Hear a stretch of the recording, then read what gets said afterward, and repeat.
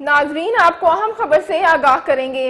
Army chief general Qamar Javed Bajwa ने वज़ीर आज़म शाहिद खाकान अब्बासी को खत लिखा, जिसमें उनका कहना था कि जनवरी 2017 से एक भी दहशतगर्द का केस फौजी अदालतों में नहीं भेजा गया। Army chief general Qamar Javed Bajwa ने वज़ीर आज़म शाहिद खाकान अब्बासी को खत लिखा, जिसमें उन्होंने दहशत गर्दों के केस फौजी अदालतों में ना भिजवाए जाने की तरफ़ तवज्जो दिलाते हुए कहा कि हुकूमत की जानब से जनवरी 2017 से एक भी केस फौजी अदालतों में नहीं भेजा गया।